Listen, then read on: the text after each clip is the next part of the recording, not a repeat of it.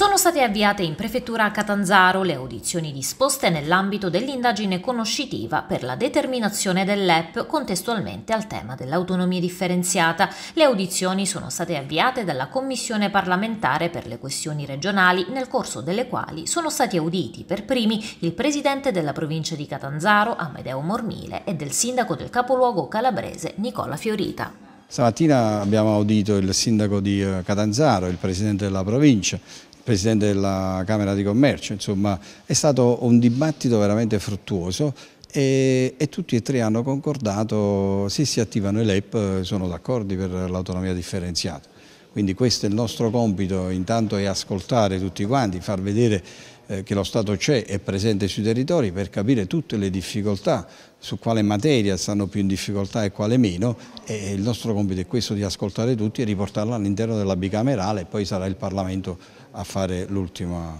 decisione. Se ci sono le risorse per superare la spesa storica e per assicurare a tutti i cittadini gli stessi diritti, ben venga questo disegno di attuazione del titolo quinto della Costituzione che prevede appunto l'autonomia differenziata, il finanziamento dei diritti allo stesso modo per tutti i cittadini e la perequazione. Se non ci sono le risorse di che parliamo? Quindi ho detto anche oggi quello che ho detto pubblicamente, ehm, anche privatamente al Ministro Calderoli. Non ho pregiudizi verso l'autonomia differenziata perché